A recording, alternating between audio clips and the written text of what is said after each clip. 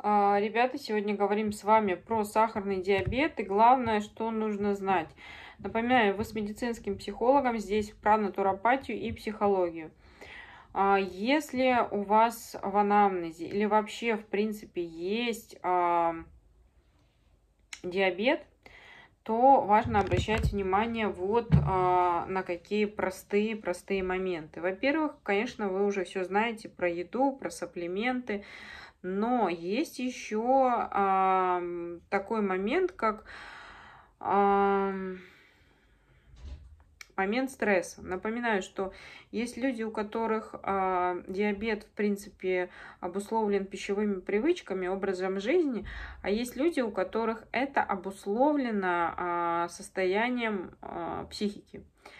Даже если обычного человека посадить на какую-то должность, в которой он может не справляться, какую-то ситуацию, в которой он может а, достаточно долго не понимать, как ему выйти из этой э, ситуации.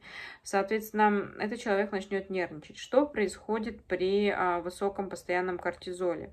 Повышается инсулин, и, соответственно, при повышенном инсулине человек жжет свой белок.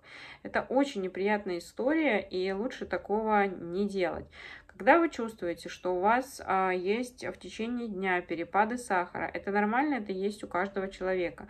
Но когда вы ощущаете, что это не от продуктов, это на уровне стресса, уровне истощения, а, дефицитах, а, проблемах с двигательной активностью, то есть человек сидит за компьютером круглые сутки, и у него, соответственно, тут уж все а, органы сказали, привет, пойдем погуляем.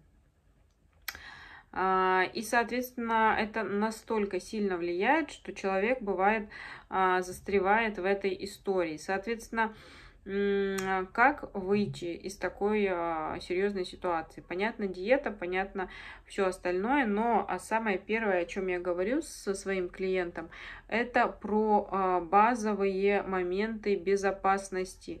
То есть а, такому человеку важно а, принимать правильную пищу в достаточном количестве в определенное время и при этом не испытывать стресса. То есть э, факторы стресса мы с ним прорабатываем.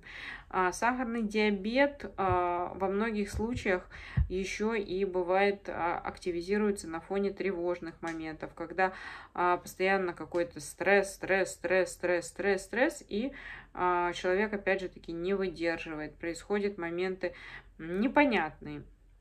Хочется с ними справиться и, соответственно, справляется. Про поводу сапплиментов я уже говорила, какие можно использовать.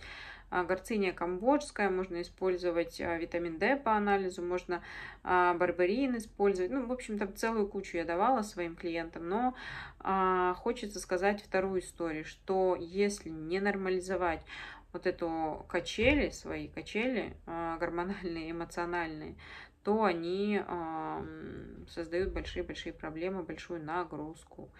Поэтому это очень а, такая серьезная история. Пожалуйста, а, отметьте и постарайтесь а, сделать выводы о том, что вам нельзя нервничать, вам нельзя не досыпать, вам нельзя быть бесконечно голодным, вам нельзя эмоционально встревать во многие конфликты, это приводит, опять же таки, к повышению сахара в крови, что влечет за собой неприятные последствия. Пишите вопросы.